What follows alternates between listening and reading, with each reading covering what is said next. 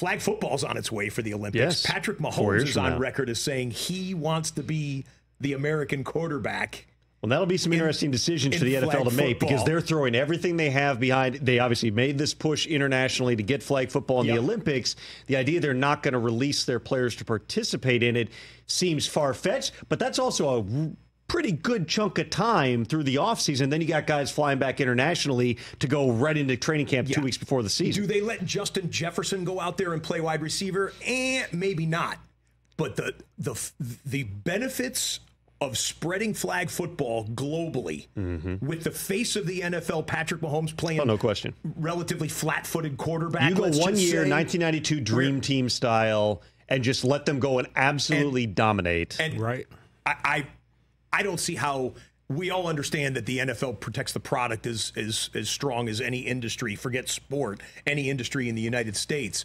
I, I don't see how they, pardon the double negative. I don't see how they don't let it happen. I I, I think it absolutely has to happen where big time NFL players will participate and the benefits for the game of football, for the Olympics, and for the athletes who want to mix. They Patrick Mahomes is a sports fan, man. Right. You don't think he would like well, to you can't show up there with like the UFL. No offense to the UFL, the UFL equivalent of like the guys who didn't make a team. you can go to NFL legends, I suppose, guys who recently retired. Oh, that's a good one. That would be another way to That's do it without using current NFL players. Yeah, They'd who- still. who- who's stopping Ocho Cinco and To out there? Even Give me- if- give me- even if give me they're Mike- aging give out. me Give me Mike guys than that. Like JJ Vick- Watt shows up as Brady, red Mike zone Vick at target. quarterback. Like, come on. Go go ahead. Mike Vick at quarterback. Let's have oh, some. I mean, Mike's getting Oh, older let's though have now. some I'm talking guys who Come like on. just, just. Well, oh, I mean, I'm sure he can run around everybody, but there's going to be 20 year old dudes Brady out would there. sign up for that? Expand his brand. RG3 could still Yeah. run a 4-4. Like, let's go. Tom Brady in a in that setting would be phenomenal. you want to hear a Tom Brady in that setting story? yeah, Of course. please. Two years in a row. Tom, by the way, big NFL red zone fan, Mm-hmm. even when he was playing. And, and I'm not just saying that because I'm sitting here, but he, he, he used to tell me he, he loved the bye week. He Mm-hmm. loved playing on Thursday night football so he could watch red zone all throughout his Sunday. So uh, a couple years in a row, I played in Tom Brady's charity uh, flag football game. Okay. And it's Brady. This is back in the in the New England Patriot days, and it's back like 10, 12 years ago. His he all kinds of celebrity. We had uh who is uh from the Shield, the actor Michael Chiklis, who I think has been on the show. Yeah, Yeah. big, Times. big Boston fan. Yeah, big Boston fan. He played in it, and then you had like Carl Lewis showed up to Nah. it. Then you had Scott Hanson running around, and then you had Julian Edelman, a young wide receiver. Julian Edelman, before many people knew his name, would come out and he would play in it.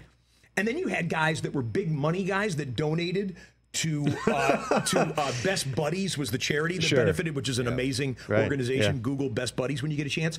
That, that donate. that These guys were weekend warriors, you know, 30, 40 pounds, you know, on on the bad side of their high school football glory days.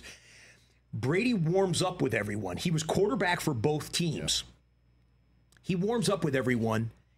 He hit everyone on stride, was able to calculate, oh, that's Julian Edelman going on a nine route, an actual NFL wide receiver, and I can hit him. He's running a 4 4 up the seam.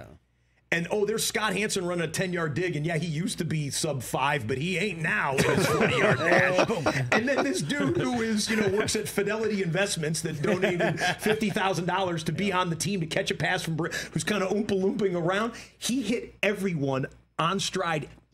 He calculated, okay, here's my personnel. And it was it was one of the most remarkable things to see at field level and then on the field as well. And, I, and I'll admit it because he, he'll bust my chops next time I see him. I dropped the first pass he ever threw to me, and it was the most gorgeous pass. And I was I played wide receiver at Syracuse at the end of my at the end of my time. I was mesmerized. He threw from me to you, And Chris, and, dime, and I was and like, like, "This is the most beautiful pass I've ever." Shoot, right through my hands. It was right here. What did he say? I was going this way. The next year I played in it, and he goes, "You're not going to drop any more passes, are you?" He remembered. He throws 300 Photographic passes memory. during this.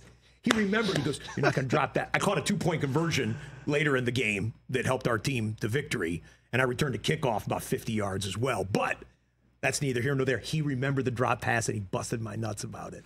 I thought, this dude, yeah. So Brady, I think 100 percent he'd be in on some Olympic He'll be flag 50 years old in 2028.